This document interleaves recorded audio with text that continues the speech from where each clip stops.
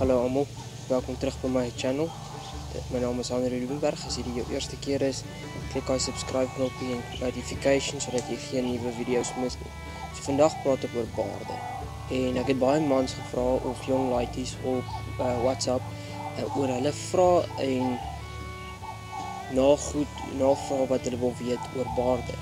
En uh, toe het ek hulle gesê ek sal navorsing doen en dan sal ek 'n YouTube video daaroor maak om dit te verduidelik. Ek het gedink om dit bietjie in Afrikaans te maak om dit net so bietjie makliker te maak en dat jy dit beter kan verstaan.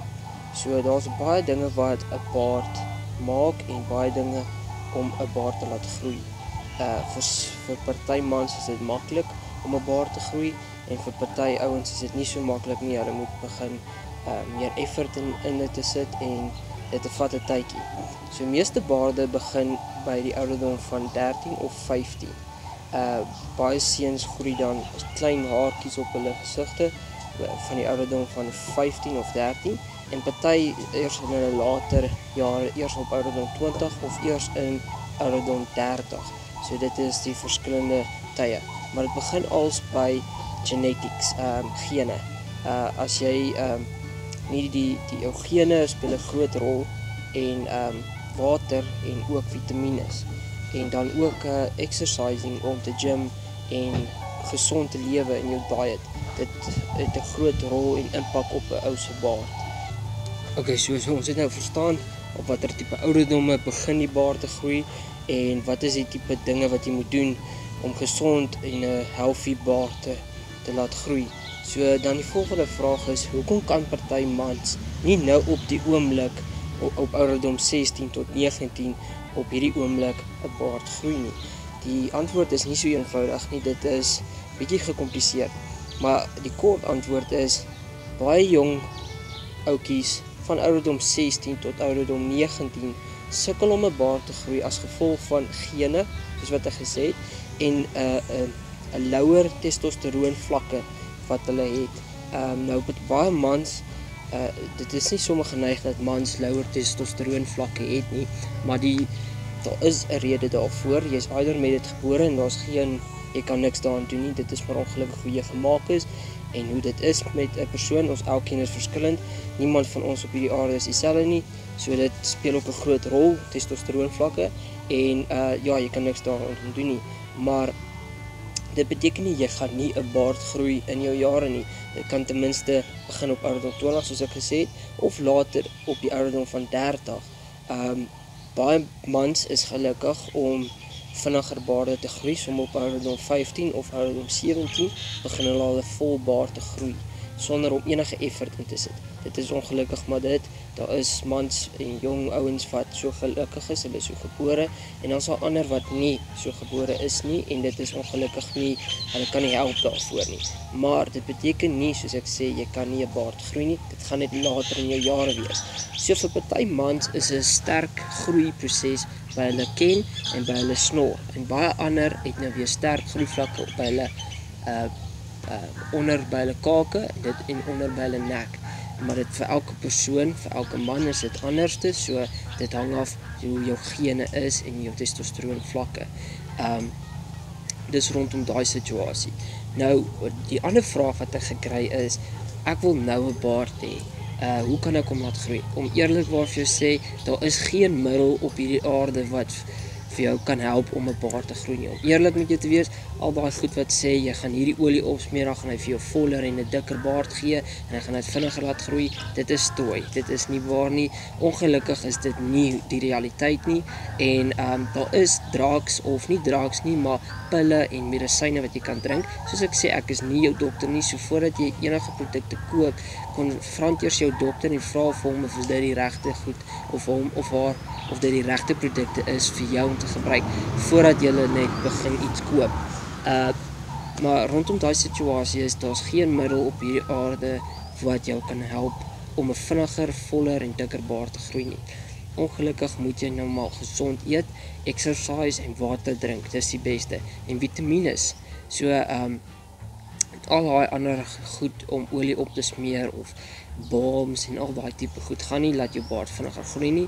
En water en vitamiene en exercise gaan ook nie dat jou baard vinnig groei nie, maar dit gaan help om 'n gesonde, balanseerde uh lewenstyl te hê en dit gaan help om jou liggaam se bloedselle meer te sirkuleer en dit kan help om baard te groei vir jong ouens. Maar soos ek sê, daar's ongelukkig geen middel wat kan help om jou baard te laat groei vinnig of voller en dikker nie. Um soos ek sê, party mans is gelukkig, ander is nie. Dit gaan maar oor gene en testosteron vlakke. Um elkeen is verskillend. So dit is die uniekheid van die lewe. Ons elkeen is uh uniek geskape. So dit dit help nie jy probeer opkyk na iemand anderste en sien sy baard is vol en dan wens jy ook ek so een en nie ongelukkig werk dit so nie. Um dan die ander ding is wat ek ook vra wat ek gekry het is um hoe is daai rollers wat jy kan koop? Uh hy't seker klein skerp puntjies en dan rol jy hom oor jou gesig en dit puncture die die uh ek wil sê die vleis van jou wang om klein gaai sweetgaatjies te maak sodat jou baard kan uitkom. Ek weet nie of dit waar is nie, ek het dit nog nooit gebruik nie. Uh ek het geen middels en goed gebruik nie. My baard het ek maar net laat groei net uit niks uit nie. Ek het geskeer geen gelos om te groei maar net water gedrink. Ek exercise nou en dan en ek maak seker dat ek gesond eet en ek en Vitamiene D speel ook 'n groot rol. Gelukkig hier in Suid-Afrika, ons het lekker son. So ons kry lekker Vitamiene D, maar daar oor see waar mense nie so baie son kry nie, moet jy die Vitamiene D pil drink. En dit speel ook 'n groot rol. Soos ek sê, vitamiene, water en exercise, dit is die uh, grootste rol wat uh, dit speel om 'n baard te gaan groei. En dit kom ook neer op genetics en jou of gene en testosteron vlakke. Um mans lek nie sommer testosteron vlakke of lou testosteron vlakke nie.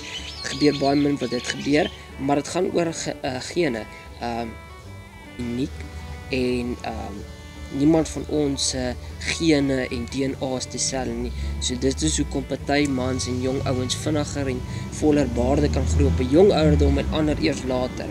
Maar soos ek sê dit dit keer nie dat die een kan groei nie. Uh, daar is mans wat kan groei al is hulle hoe oud. Uh baie mans kan baarde groei. Um uh, behalwe as jy um ek sal sê as wanneer jy nie baarde kan groei nie, is wanneer jy 'n er, erge ehm um, sindroom het of 'n siekte wat keer dat jy hare nie kan groei nie. Uh dit is die ander ding. Dan dit bring my na my volgende punt. Daar is 3 fases van baardgroei. Nou ek het 'n dit neergeskryf en dit is nogal rowwe name.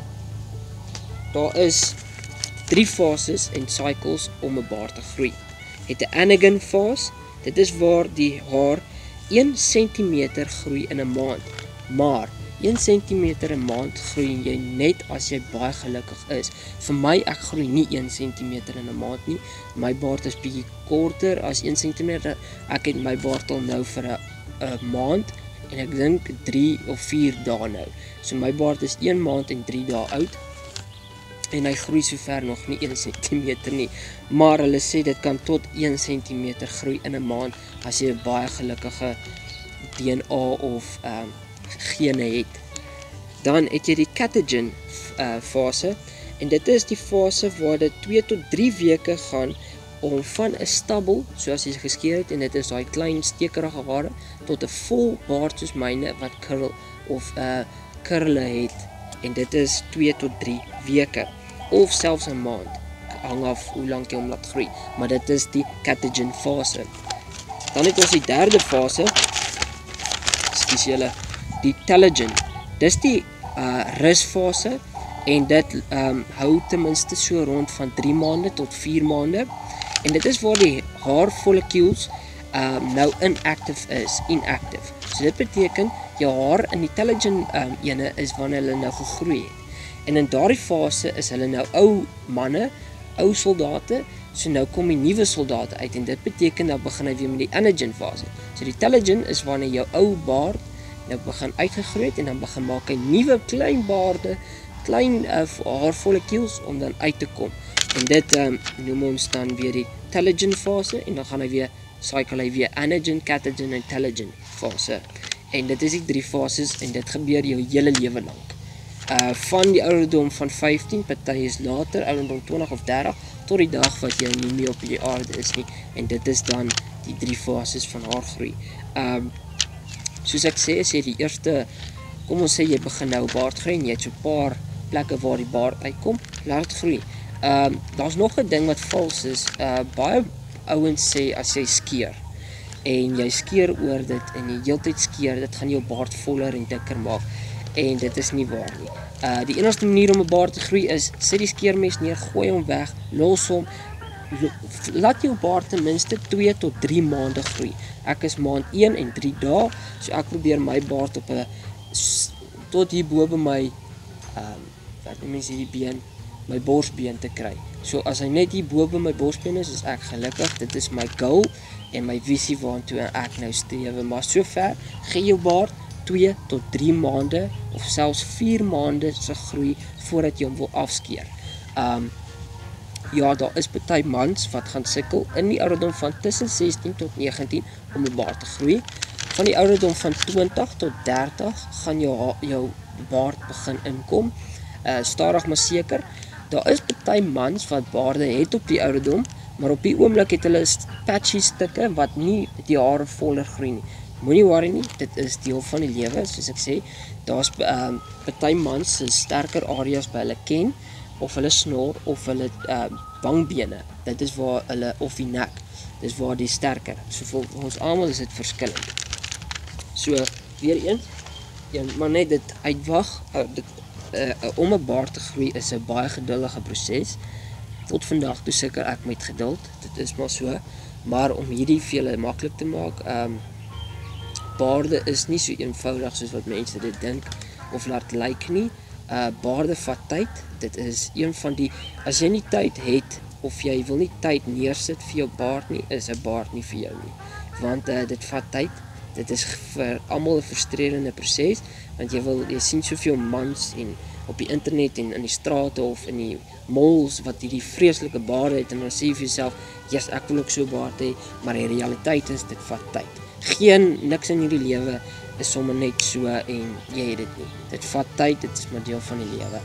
Uh dan die ander ding wat ek wil sê is daar's 'n paar vrae wat ek neergeskryf het wat man of jong ouers my gevra het om te beantwoord in hierdie ding. So ek gaan 'n paar vrae gou beantwoord. So ek hoop julle het nou verstaan die proses van 'n baard, die drie fases van 'n baard. En as daar iets is wat julle nie verstaan nie, asseblief uh leave 'n comment down below, WhatsApp my um uh, gaan op Instagram follow my en dan vra julle my op die DM's daar en dan kan ek probeer om nog 'n video te maak om dit weer helder te, verduidelik as julle nie verstaan nie, maar ek hoop julle verstaan dat 'n baardproses 'n lang proses is. Ons elkeen se gene en DNA is anders. Party mans kan vinnig gene groei, ander moet effort insit soos om hulle gesonde dieet te eet, baie water drink. As ek praat van water, ten minste so 'n bottel water uh twee van hulle in 'n dag behoort jou goed te doen. Daar is 'n paar vrae. En dit is nou gedurende as jy 'n baard het en jy het 'n lekker vol baard of jy het net 'n beginbaard stabbel, maak nie saak nie, kom ons kyk wat se paar vrae en dan gaan ek julle help om hierdie reg te doen. So die eerste vraag is uh hoe om 'n baard se juk weg te vat en hoe om 'n baard sag te kry. So as jou baard by die beginstyd is, so ek dink die eerste week, so as jy jou baard laat sonder om te skeer van eers die eerste week laat groei, is dit so 'n bietjie stabbel en 'n bietjie skerp haartjies wat 'n bietjie langer is as stabbel. So dan moet jy baardolie koop. Nou baardolie kom in verskillende botteltjies, dit kom Wat is daai botteltjie nou? In elk geval dit kom in so klein botteltjie, dit kom in so bottel of dit kom in so enetjie. 'n Spuit, drip of 'n 'n een van my klein so klein botteltjies. In elk geval, baardolie het carrier oils in. Nou carrier oils is uh byvoorbeeld jojoba oil, argan oil, coconut oil, um uh, uh, uh, grapeseed oil en sunflower sunflower oil wat alles gemaak is vir jou vel. Uh dit is nie kookolie nie. Moet dit nie met dit meng nie. Dit is glad nie kookolie nie. Dit is regte carrier oils wat van natuurlike goed gemaak is. wat hulle binne in baardolie sit. En dan meng hulle essential oils. Essential oils is daai lekker ryk olie wat spesifiek gemaak is ook vir 'n vel om dan 'n geur en 'n reuk te gee aan die olie. En dis al wat baardolie is. Maar wat doen baardolie? Baardolie, as jy dit aansmeer aan jou vel, dit is nie vir die hare op jou baard nie. Uh ek sê weer, dit is nie vir die hare op jou baard nie, dit is vir die vel onder jou baard. Wat die baardolie doen is, dit maak dit is soos 'n conditioner vir jou onder jou vel by jou baard. So as jy die olie insit, dan maak dit jou vel onder gesond, glad en dit voorkom ehm um, bakterieë en flakes ehm um, of skulfers en dit help om jou baard lekker sag te hou. Dit is gemaak om jou baard ook sag te hou, asook om dit lekker te laat ruik en om die vel onder te hydrate. So jou vel is baie droog omdat jy het nou om gegroei, daar's nie baie lig, son of water wat op hom kom nie, want jou baard keer dat die water onder in jou vel gaan en so aan en so aan. So as jy baardolie opsit, smeer jy dit nie op jou baard nie. Jy probeer dit in jou vel invryf onder die baard om jou vel te hydrate, om jou vel ondersag en skoon te hou en ook om dit uh soos ek sê om die uh, skulfers te voorkom sodat jy nie skulfers opeindig met skulfers en daai wit goedjies wat uit jou baard uitval nie. Dit is dan om jou baard op te laat juk en dit dit gaan nie jou baard dadelik laat op juk nie. Dit hulle sê op die botteltjie dit vat gewoonlik so 'n week of 2 om die juk weg te kry, maar jy moet elke keer twee keer per dag die uh baardolie opsit.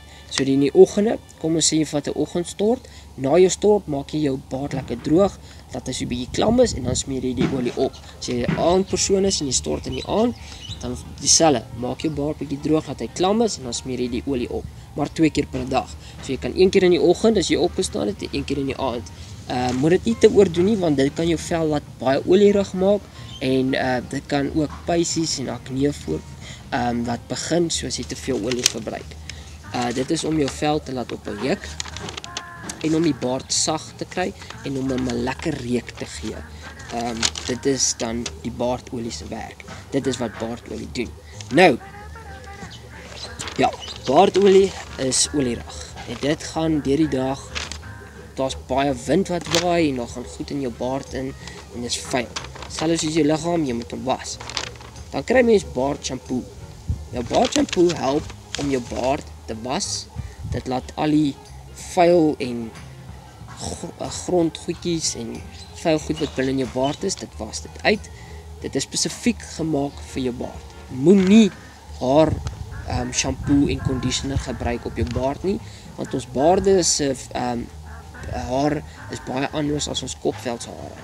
So jy moet baard ehm um, baard shampoo gebruik. As jou baard te kort is soos myne, 'n bietjie langer of 'n bietjie korter, gebruik jy hierdie jy hoef nie hierdie spesifieke maak te gebruik nie, maar maak net seker daar staan beard wash of beard shampoo op hom. Uh want dit is gemaak spesifiek vir jou baard. En dit was jou baard lekker skoon en dan daarna apply jy olie. Dan die volgende vraag is ehm um, ja, die vraag, hierdie vraag is is, is baie dieselfde as wat ek nou nou beantwoord het. Ek sukkel om 'n baard te groei en hoe kan ek dat ek my baard groei? Weereens om 'n baard te groei is nie so eenvoudig nie. Dit kom terug na gene uh, of genetics, uh testosteron vlakke en uh hoe jy jou dieet en jou lewenstyl is. So byvoorbeeld water, soos ek gesê het, um speel 'n groot rol, vitamiene en 'n dieetplan. Uh exercise is ook 'n groot ene in dit baie mans exercise en hulle kan nog steeds nie 'n baard groei nie. Weereens dit beteken nie jy kan een groei nie. Dit beteken net jy gaan later in jou lewe dan 'n baard groei. Okay, dan die volgende vraag is hoe om 'n dikker, voller baard te kry. Okay, so ek neem aan as jy hierdie vraag vra, het jy ten minste 'n baard wat so lank is soos myne, 1 maand of 2, 1 maand en 3 dae, of jy het 'n baard wat bietjie langer is en 'n bietjie korter is. So hoe om 'n dikker en 'n voller baard te kry is om jou nekhare te laat groei. Jou nekhare is hierdie hare hier onder. Laat ek net daai neersit. Jou nekhare is hierdie hier onder. So om dit te laat groei om jou baard dikker en voller te laat lyk, moet jy hier onder nie skeer nie. So jy maak 'n L uh onderste bo of ja, 'n L en daar waar jou Adam's apple is, onder jou Adam's apple skeer jy of bokant hom. Maar as jy 'n dikker en 'n voller baard wil hê, laat jy jou hare hier onder groei. Moet dit nie skeer nie. Dan as jy tot so 4 of uh 3 tot 4 maande jou baard so laat groei sonder om hier onder te skeer, gaan jou baard baie dikker, voller en 'n bosrige baard wees. En dit is om 'n dikker en 'n voller baard te kry. Want as jy hierdie gaan skeer hier onder en jy groei net hierdie en dan jou baard so 4 maande lank, dan gaan jy kan deursien en dan gaan jou baard nie so dik en voller lyk nie. So hoe om 'n dikker en 'n voller baard te kry is om jou nekhare nie te skeer nie, om dit saam jou baard te groei vir so 4 tot 5 maande. Ek sal dit voorstel vir 4 tot 5 maande. Daarna kan jy 'n bietjie rondspeel met 'n korter of 'n langer tipe neckline. So vat dit so 4 tot 5 maande vir jou baard om so vol en dik en bosrag te dan om 'n dikker en 'n voller baard te kry. Jou baard moet ten minste so lank wees soos myne, of 'n bietjie langer of 'n bietjie korter, maar ek sal nie voorstel vir stubble nie. Vir stubble kan jy begin groei, maar dit gaan niks help om hom laat voller te laat lyk nie. Maar ten minste so lank soos myne of 'n bietjie langer. Daarna kan jy eers na so 4 maande sal jy die die ehm um, die proses beter kan laat evalueer en beter kan sien. En dit is dan die vraag hoe om 'n dikker en 'n voller baard te kry. Dan hierdie vraag is neem aan as jy hierdie vraag vra, uh as jy 'n skoon geskeurde man, jy hou van netjies sonder enige baard en hierdie vraag is as ek skeer, hoe om die juk te stop en die uh, brand sensation gevoel. So dit beteken jy het 'n sensitive skin soos ek. Ek het ook 'n sensitive skin hier onder. As ek klaar geskeer het, het my vel al, altyd sulke rooi knoppies uitgeslaan en dit het gebrand en dit het gejuk. Die volgende oggend as ek my nek gedraai het of ek het 'n hemp aan met 'n das, dan begin brand dit, dit juk en dit word 'n jukkerige storie. So, dit beteken jy het sensitive skin. Hoe kan jy dit voorkom? Jy kan dit deur voorkom deur twee goed. Jy kan vir jou in plek van 'n shaving gel te gebruik, daai shaving gel kom in sulke blik, jy spuit en hy het sulke foam. Daai goed is gemors. Dit laat jou vel dit alkohol en en ek weet nie wat se ander klomp gemors nie en dit laat die vel 'n baie erge sensation van beekrag en burning te hê. So ek sal daai los en daai shaving cream koop. Shaving cream kom in 'n eider in 'n dit lyk soos 'n tandepasta bysie dan spuit jy dit uit en jy dit smeer in jou hand dan word dit so seep, skuimerig en um dan kry jy ook die ander in 'n potjie en as jy hom oopdraai dan het jy so uh, uh wat mense net goed wasie uh, en dan so klein dingetjie met uh haartjies en dan smeer jy dit en dan word dit dan ladder dit op en dan het dit soos 'n skuimerige effek en dan smeer jy dit op jou vel en dan skeer jy. Dan die tweede ding is die skeermes. Die skeermes, uh, daai Gillette Fusion en ek weet nie wat se ander skeermesse nie. Hy het 3 tot 5 lemmetjies. En daai lemmetjies gaan op dieselfde gedeelte van die vel oor en oor as jy skeer en dit irriteer die vel erger. So dit kan ook voor ehm um, dit kan ook lei tot uh, daai jekkerige en burning uh sensation wat jy het. So ek sal sê gooi daai goed weg. Dis in elk geval te duur om te onderhou. Dan koop jy 'n safety razor. Ja, 'n safety razor is duur, maar wanneer jy hom gekoop het, het jy hom lewenslank en daai lemmetjies wat saamkom kos soos R20 in, in so 'n pakkie. Sal net weer vir julle alles wat ek hier oor praat sal ek onder in die description laat um, sit sodat julle dit alles kan kry op online op Takealot en daai plekke. Ja, al die lemmetjies kry jy koop jy vir R20 in 'n pakkie en dan goed hou jou. Jy kan tot 'n skerp uh, maker dingetjie koop wat daai lemmetjies heeltyd skerp maak, so dan hoef jy nooit weer lemmetjie te koop nie. Tensy dit roes. Maar in 'n geval, dan gebruik jy daai ding. Dit is 'n moeilike ding. Uh dit is 'n gevaarlike skeermes want jy kan jouself raak sny, so jy moet versigtig wees. Uh 'n tutorial sal werk. As jy 'n paar tutorials kyk op YouTube, behoort jy reg te kom.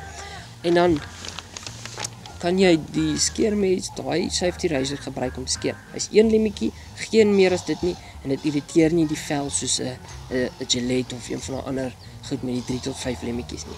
En dit is dan om die jeukrige en brand sensation weg te kry vir sensitive skin. Dan na dit kan jy aftershave koop.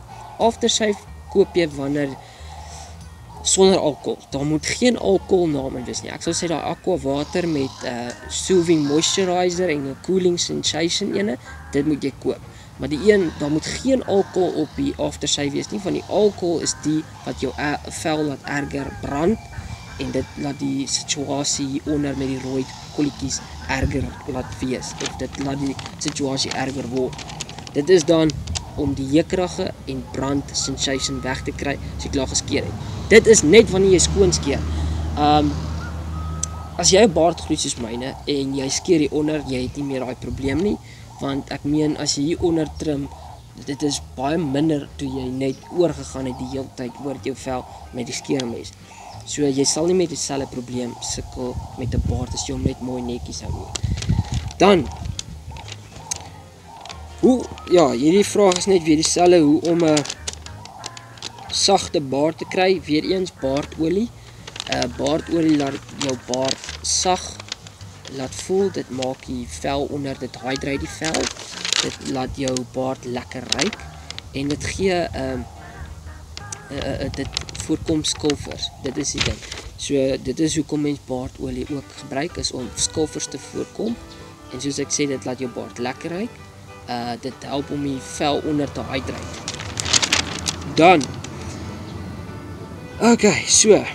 Dan kom ons by die laaste vraag. Ek wil 'n baard hê nou op die oomblik. Wat kan ek gebruik sonder water? Kom ons sê jy wil nie water drink nie. Jy wil nie vitamiene drink nie. Jy wil nie oefen nie of uh, exercise nie. Jy wil nie ehm um, al hierdie ander goed doen wat ek nou net vir jou gesê het nie. Hoe kan jy jou baard laat groei?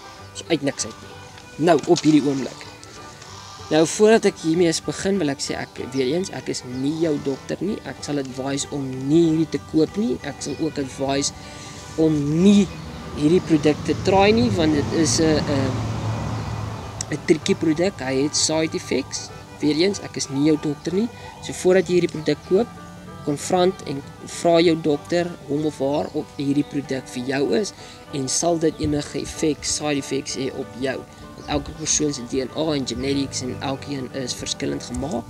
So vra eers die dokter, jou dokter of dit oukei okay is. So. Jy wil nou baard hê. Die oomblik. Wat kan jy gebruik? Daar is 'n 'n draak of 'n dis nie 'n draak nie, dit is 'n medisyne draak wat help om hair growth te promote. Die naam is minoxidil.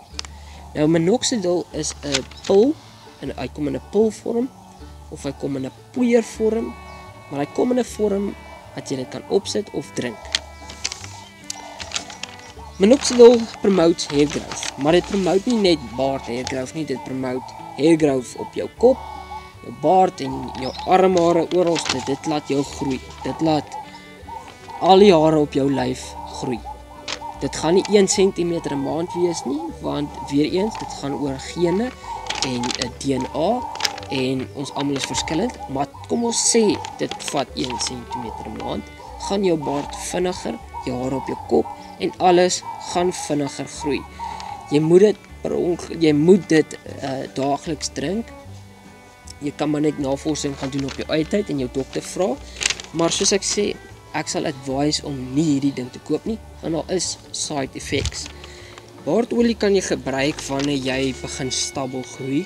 Um soos ek sê baie seuns begin op die ouderdom van 13 tot 15 stabbel te groei, ander eers later op ouderdom 20 tussen 20 en 30. So as jy een van daardie persone is wat nou stabbel het, dan sal ek sê koop vir jou baardolie, smeer dit op. Uh, uh wat se tipe shaving cream moet jy gebruik? Ek het nou hierdie uh shaving cream gekoop. Uh ek sal net weer die naam kry en dan sal ek dit 'n foto laat opsit hier. Ek het gebruik daai ene. Dit is 'n uh, dit kom in so buisie voor. Dit lyk amper soos tandepasta buisie en as jy dit aanmaak dan jy vryf dit met daai borseltjie wat by dit kom daai brush en dan maak ek 'n skuim en dan smeer ek dit op en dit help om vir my sensitive skin want ek het baie sensitive skin so as ek skeer dan maak dit seker rooi puisies hieronder. Daai skeer foam laat dit uh of daai skeer shaving cream laat keer dat ek dit nie meer kry nie. En as dit vir jou werk as jy 'n uh, ou is met sensitive skin, sal ek advise om shaving cream te gebruik in plaas van daai ehm um, canisters wat shaving gel is wat jy sprei want daai goed het alkohol in en klomp gemors wat die vel irriteer. Dan laaste vraag, oor die elektrik elektriese shaver. Um as jy is wat jou baard wil trim, as jou baard langer is as myne, so 3 tot 4 maande lank, uh dan gebruik jy die trimmer. Anders as jou baard korter is en korter as myne is, moet dit nie gebruik nie want jy gaan jou baard opneem. Jy het geen beheer oor dit nie en jy kan 'n haap in jou baard sny en dit irriteer ook die vel. Um koop eerder dan 'n uh, 'n uh, 'n baard skerp. Dit is gemaak vir die baard.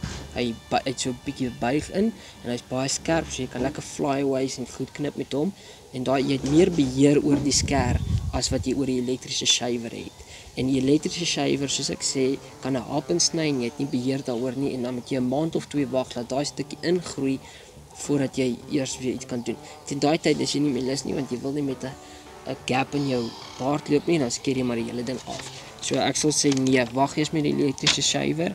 Uh hang af as jou as jy weet hoe 'n elektriese shaver werk en hy daai verskillende kaarte, dink hy soos 2 van 'n 1 kaart, 2, 4, 6 en 'n 8 kaart dan kan jy lekker trek. Gebruik die grootste baard wat jy het sodat jy nie te veel afknip nie, maar die groot ek het 'n elektriese shaver en die grootste baard wat ek het, sny nog steeds te diep in my baard. So ek los dit. So ek sal sê as jou baard so lank is soos myne, 'n bietjie korter, los die elektriese shaver en as jy 'n uh, 'n langer baard het om hom te trim, seker so 3 tot 4 maande lank, dan you go for it. Gebruik elektriese shaver dan jy meer uh plek om mee te speel en 'n lekker dik baard om lekker te trim. Maar as jy net so kort is soos myne, vergeet dit. En uh korter moenie gebruik nie. Uh uh ja. Wanneer begin jy om baardolie te gebruik? So gou as moontlik. As jy nie stabiel het nie, moet dit nie gebruik nie. Dit laat die vel oor die lag maak en dit kan pysies en goed laat uh voor um laat begin. So moet dit dan nie gebruik nie. As jy stabiel het, gebruik dit. So gou as moontlik. Dit prevent die juk hydrate die skien en voorkom skilfers. En dis dan dit. Ek hoop dat hierdie video geniet. Soos altyd, geniet julle dag. Totsiens. HPL signing out.